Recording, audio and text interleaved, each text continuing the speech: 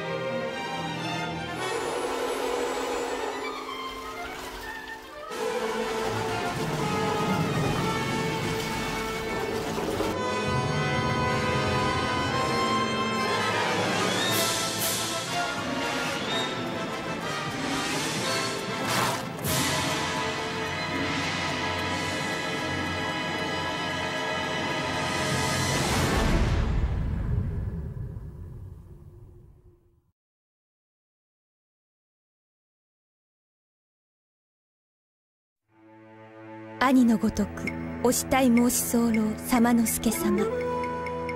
お願いのことこれあり一筆申し参らせ候。稲葉山城は呪われて候。夜な夜な怪しき者の毛が徘徊し候。女中近獣行き方知れずに愛なり候ごと相次ぐ。恐ろしきこと限りなし。噂にては物の毛は人を喰らい地の底に引きずり込み候。兄義達に訴え候。来ども尾張との戦迫り候にてそれどころではなきありさまにて候。先の父道三殿と兄義達殿との戦にては様之助様とは敵味方に分かれざるを得ず候。数年の月日が経ちそうらえどもユキが御頼りにし申し上げ候は幼なじみにていとこの様之助様お一人のみにて候この文がお手元に届きそうらえばぜひにユキを助けに参らせ候ユキは一日千中の思いでお待ち申し上げそう。永禄3年8月20日。ユキ。様之助様参る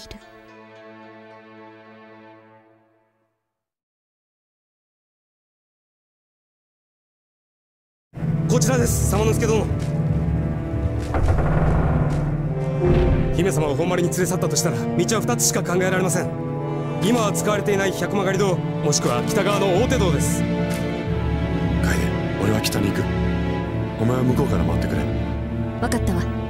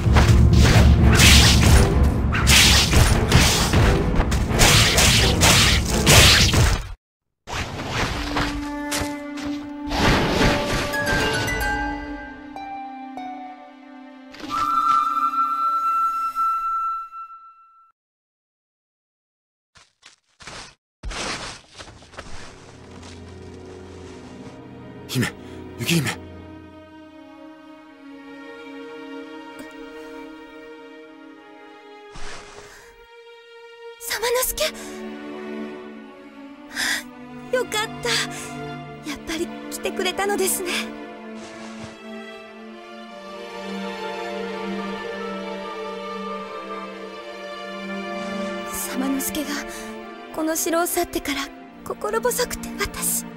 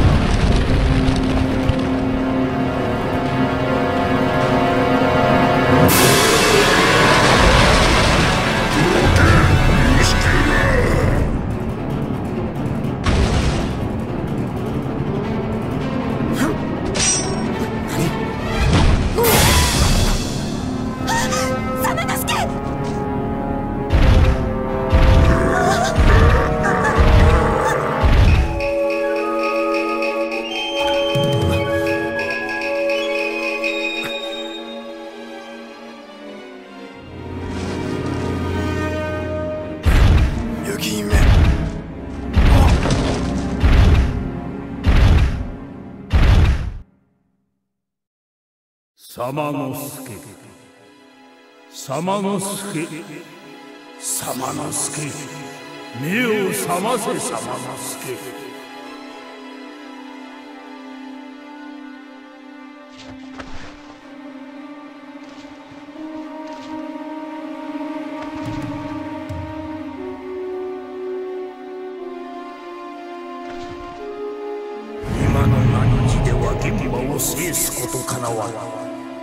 汝のために我らの力を授けよう。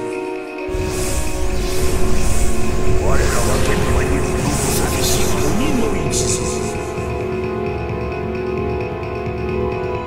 様の助現場を倒し魂をその小手に封じよ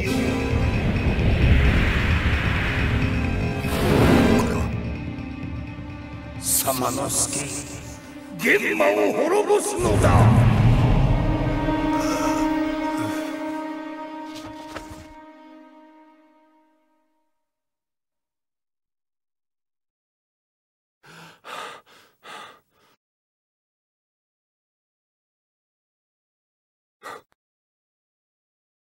俺に化け物の力をくれるっていうわけか。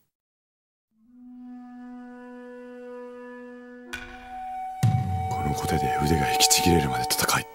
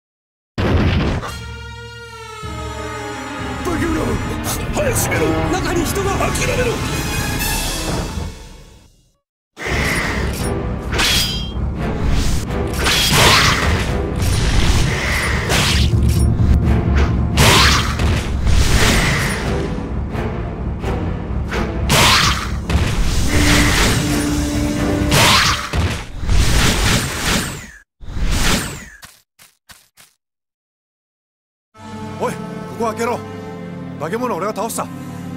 どうするよ。倒したって。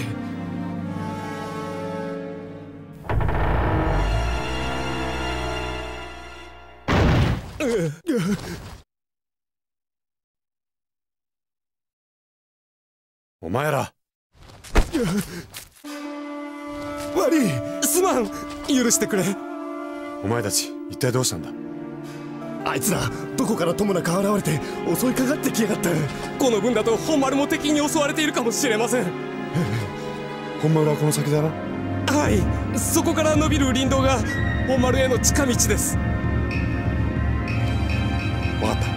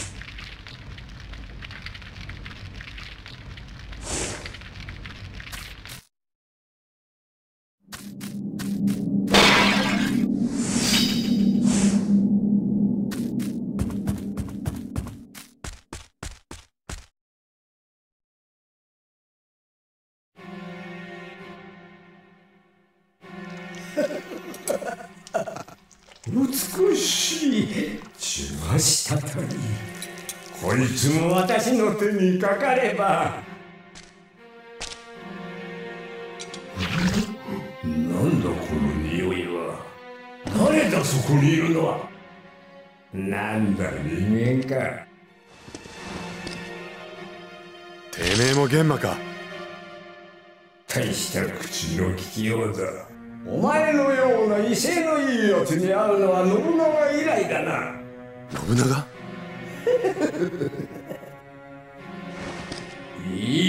ことを教えてやろう。桶狭間で死んだ織田信長を蘇らせたのはこの私だ。信長は我ら玄馬と契約を結んだ。未来永劫玄馬に尽くすとな。そうだ。ついさっきできたばかりの新しい息子を見せてやろう。生けレナルードそいつの腹をかっさばき滴る血を好きなだけ飲むがいい。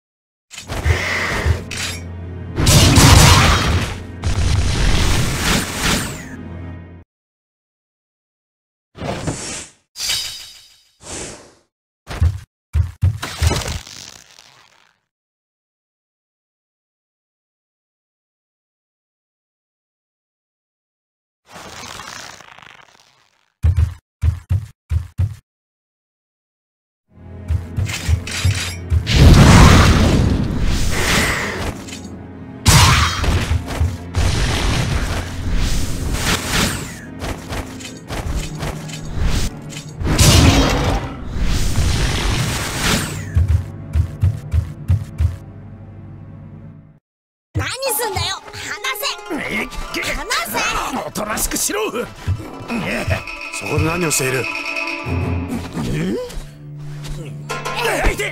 こら待て誰だお前はそれに今の小僧は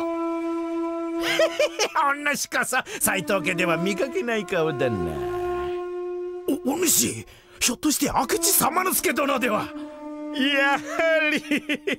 いやこんなところでお会いできるとは。拙者織田家家臣木下藤吉郎でござる。この男こそ後に天下を取る。太閤豊臣秀吉である。織田家の者がなぜこの稲葉山城に？そんなことより様之助殿。お主織田家に仕える気はござらんか？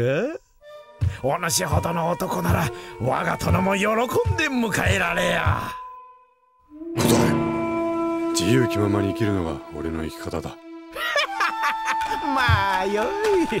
拙者は諦めませんぞ。では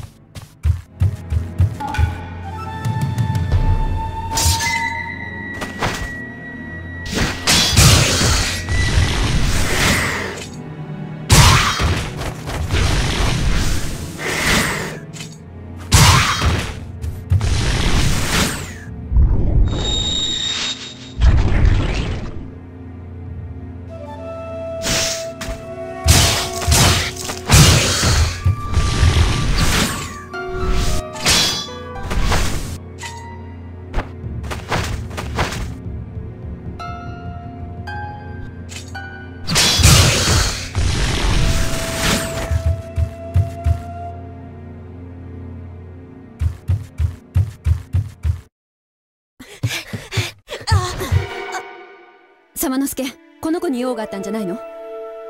小僧。やだ！お前もさっきの侍みたいにオイラに乱暴するに決まってるんだ！そんなことはしない。小僧名前は？夢丸。夢丸か。さっきはなぜ捕まれそうになっていたんだ？知らないよそんなの。じゃあここで何をしているんだ？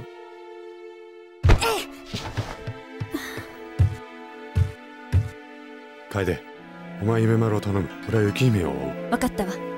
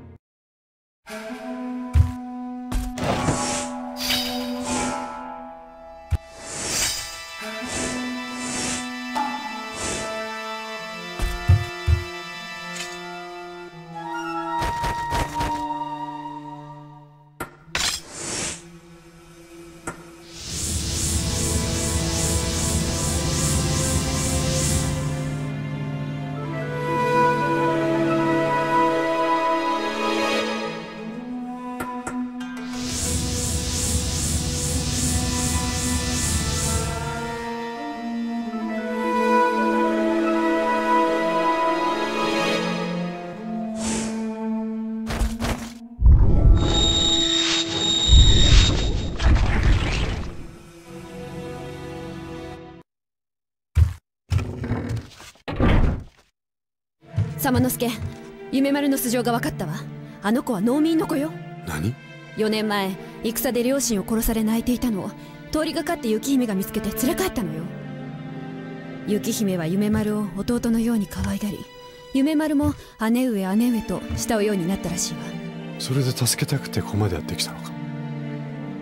しかし分からねえ。藤吉郎はなぜ夢丸を捕まえようとしているんだ？何か裏がありそうね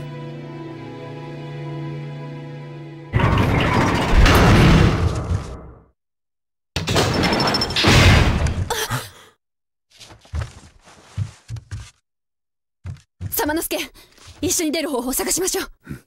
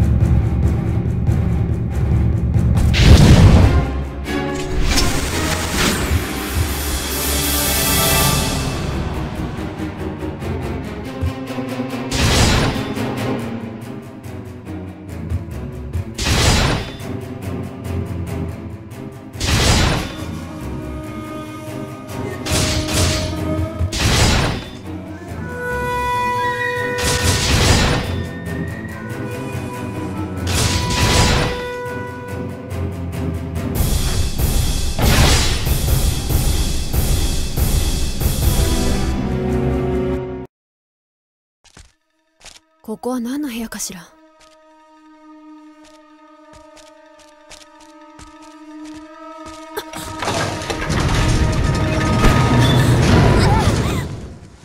様之助どうなっ。てるの様之助閉じ込められたみたいだどこか出られそうなところはない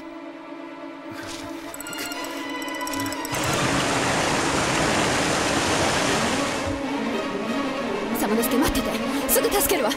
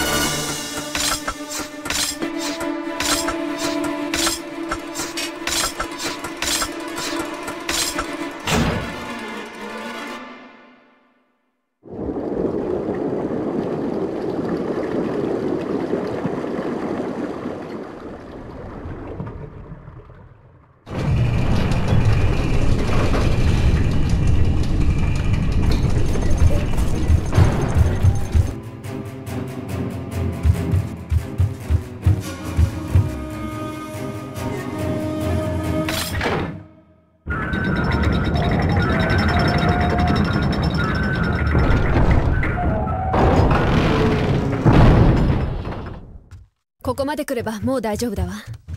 私は手がかりを探しに行くわ。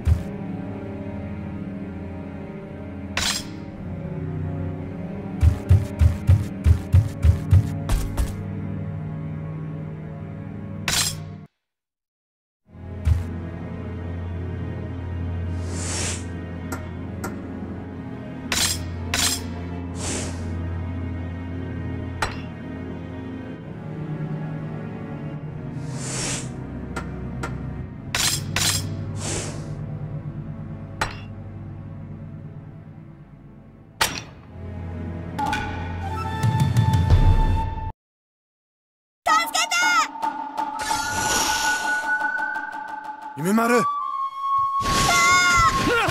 これはこれは様の助殿考えていただけましたかな信長公に使える剣どけ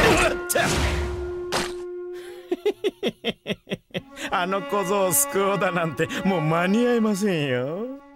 信長公が玄馬の力を借りて天下を取ろうとしているのはもうご存知でしょう。無駄な努力はやめた方が良いですぞ。ふざけるなそれで罪もない大勢の人間を玄馬の餌として地底に送り込むのか。そうだ。この世は弱肉強食農民は侍に従い人間は玄馬に従うしかない。あと一刻も経たぬうちに暗黒儀式が行われる。雪姫のドクロに生き血を満たし信長公が一気に飲み干せば。斎藤家との戦は我が織田勢の勝利間違いなしにゃて またお会いしましょう様の助殿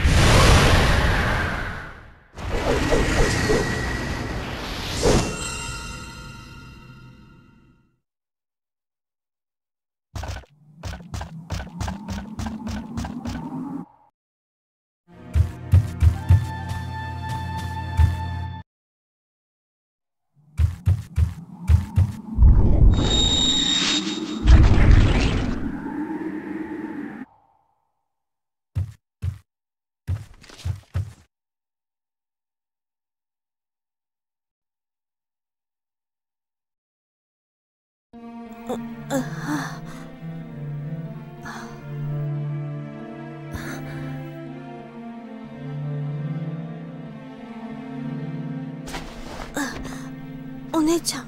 お姉ちゃんは。もう大丈夫だ梅丸何も心配することはないぞ。お姉ちゃんを。お姉ちゃんを。心配するな。雪見は必ず助け出す。楓。雪見がどうしてこの子を可愛がっていたかわかるか？戦国大名の姫として生まれ小さい時から政略結婚の道具として育てられた雪姫には自由なんて一つもなかった。だから弱いものを見ると自分と同じように思い放っておけなかったんだ。今の世は強い者だけがのさばりやがって。様之助。そうだ夢丸。お前に世界を見せてやろう。世界？4年前俺は叔父の光秀に勧められ日本を飛び出した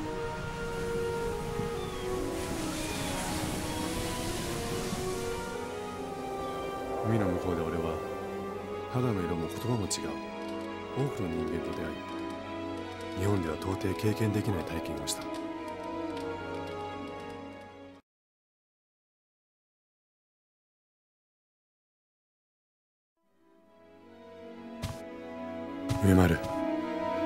世界にはお前の知らないことがいっぱいあるぞ。自由がある。希望がある。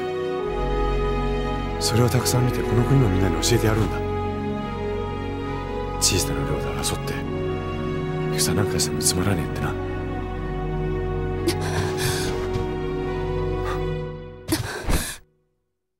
助けて。誰だお前は？ご正室初姫様の腰元で縫いと申します。雪姫様が地下に。しっかりしろ。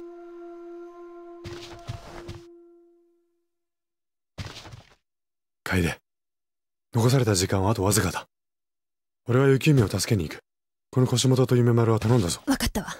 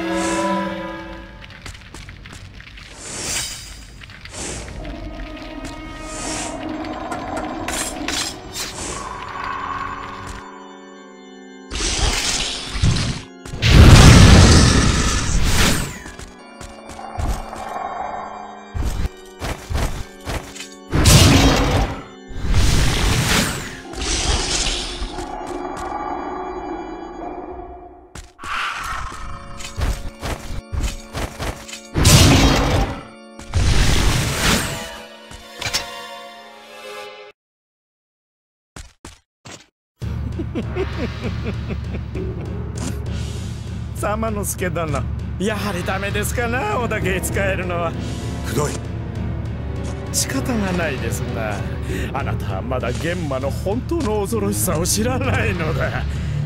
血の底にいる玄馬たちよいよいよ本番だ。暗黒儀式の準備をしろ儀式の邪魔をする様の助殿には地獄の苦しみをたっぷり味わっていただきましょう。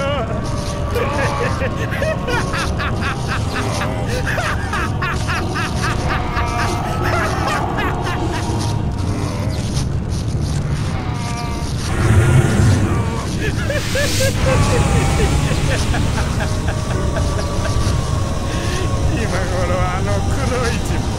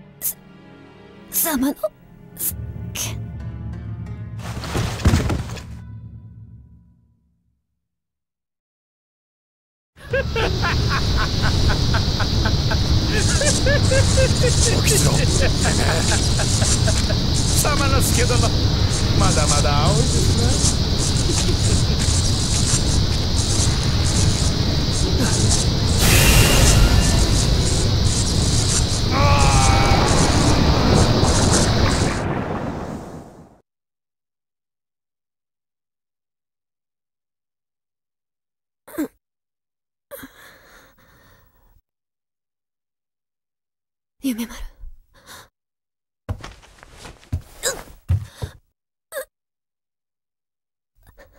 夢丸。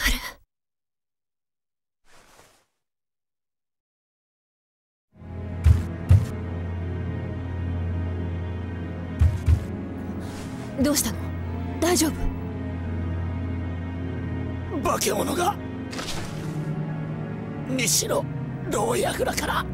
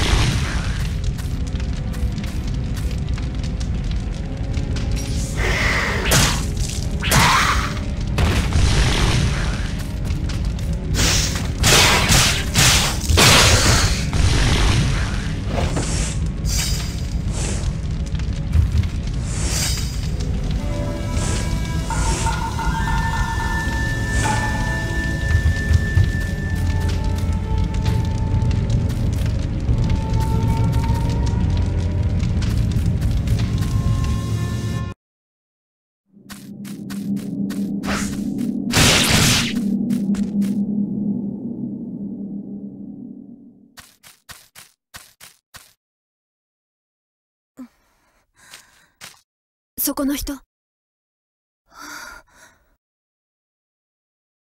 ちょっと待ってて。今助けるわ。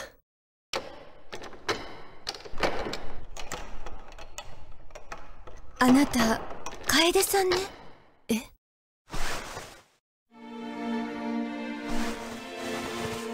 様之助が昔手紙に書いてきたことがあるの。楓という忍びと一緒に旅をしているって。もしやあなた様は？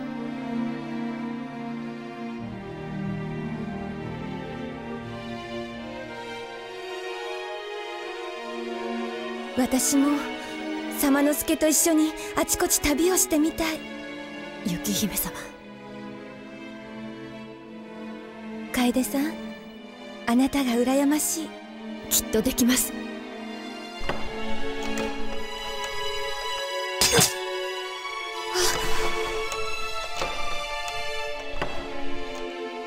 楓さんお願い。私のことはもういいから様之助と一緒に早くここから逃げて諦めてはいけないわ。あなたを必ず自由にします。それはどうかな。化け物。お前はここで死んでおけ雪姫様。雪姫様。雪姫様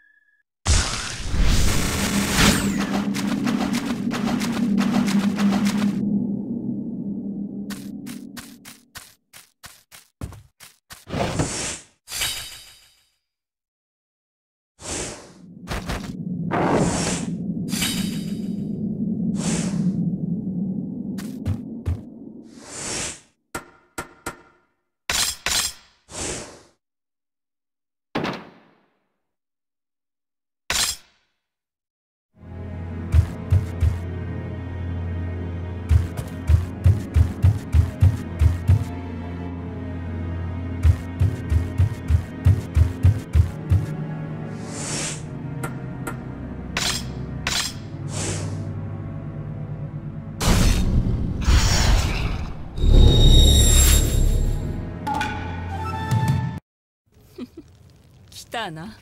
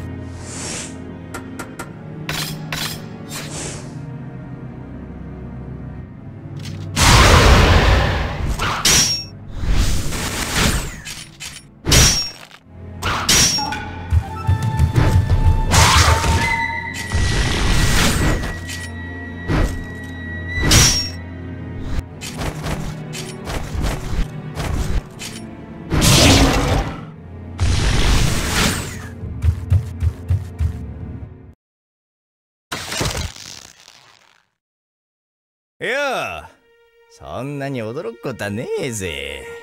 ちった付き合っていけよ。どうだい？魔空空間ってとこに行く気はねえか？生きて帰れる保証はねえけどよ。なんでもそれなりの褒美が手に入るって話だ。どうだい？じゃあな。また来いよ。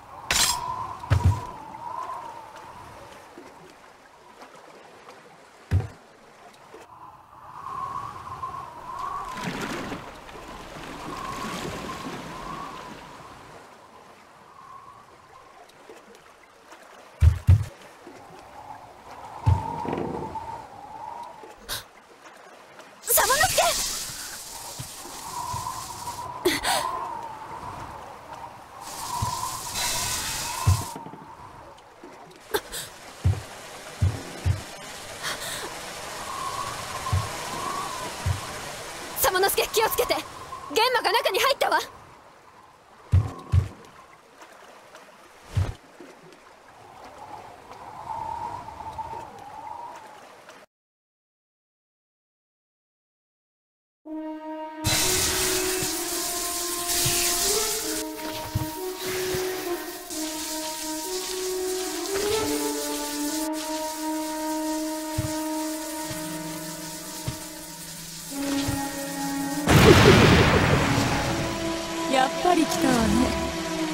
しては上出来よ。でももう間に合わない。あとわずかで暗黒儀式が始まる。まずは雪姫の見ている前で夢丸が殺される。なんだと？可愛い夢丸が目の前で殺されたら雪姫の悲しみと絶望は極地に達する。それにより生贄の血はうまみを増しそれを飲む信長の力も強くなるという戦法。そのためにさあ私の愛しい子供たちよ。そこにいる人間を食べておしまい。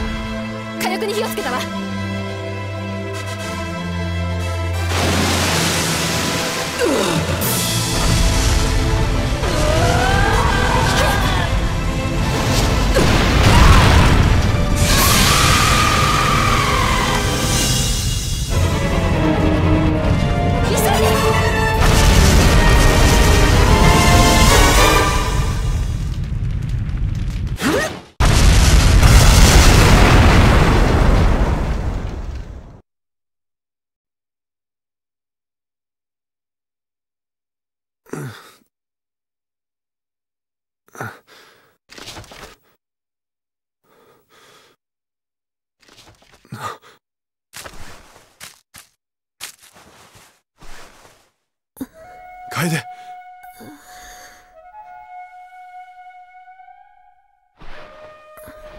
しっかりしろ楓。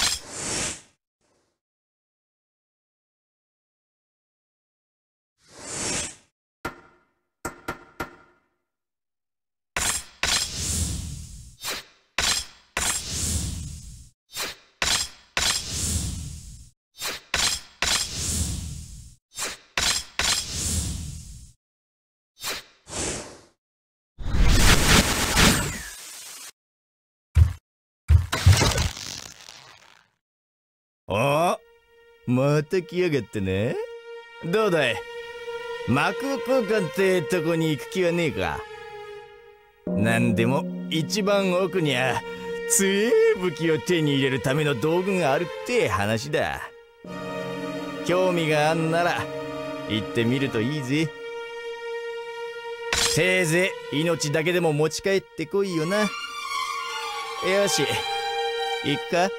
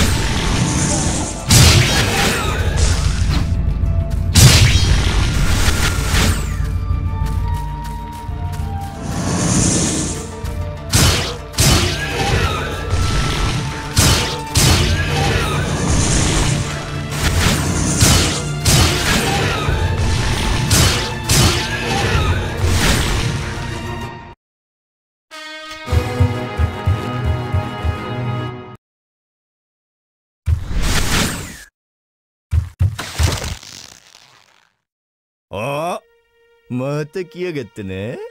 どうだい？魔空空間ってとこに行く気はねえか？何でも一番奥には強え武器を手に入れるための道具があるって話だ。興味せいぜい。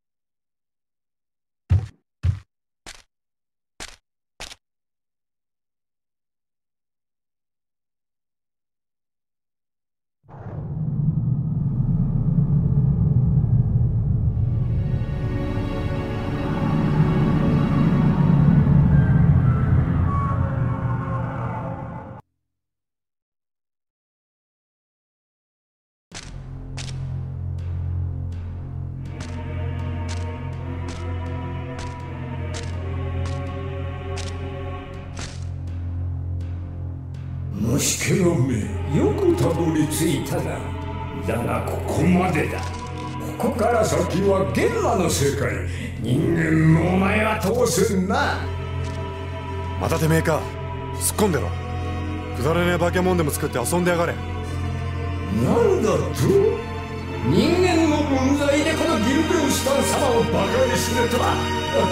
まあい。いならば私の作り出した最高傑作と戦って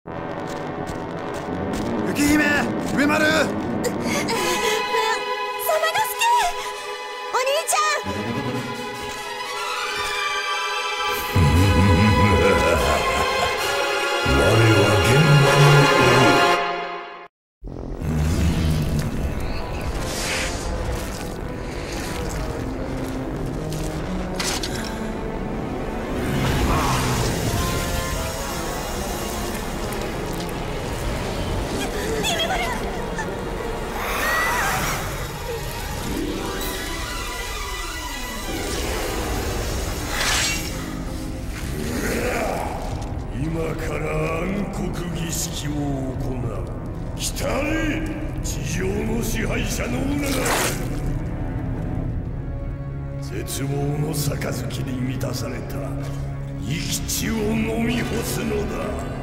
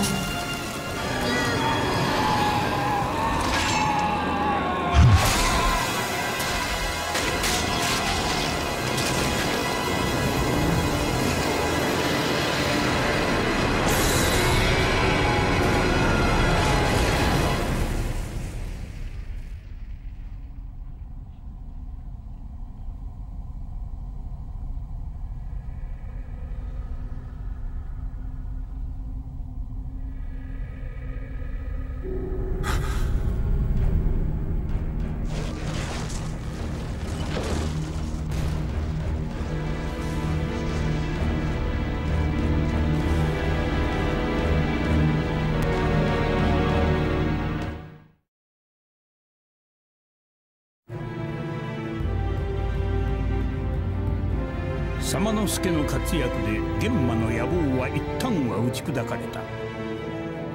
だが悪る年斎藤義達が病死し安具な息子辰興が国主になると再び織田軍が美濃へ進発。ついに稲葉山城は落城。ここに斎藤家は没落したのである。この陰に玄馬の暗躍があったかどうかを知る者はない。斎藤家没落後雪姫は斎藤家とゆかりの深かった堺の豪商今井宗久のところへ一旦は身を寄せたが一月も経たないうちに忽然と姿を消した。早急の計らいで南蛮船に乗り世界へと旅立ったのである。その旅には夢丸も従っていた。左之助に教えられた通りその目で世界を見るつもりだったのである。一方楓は左之助を必死に探し続けたが見つけることはできなかった。明くる年左之助の叔父の明智光秀に隠密として抱えられ数々の功績を残したが14年後山崎の合戦でその生涯を閉じた。そして左之助は玄馬を倒した後用として行方が知れず。その生死も定かではなかった。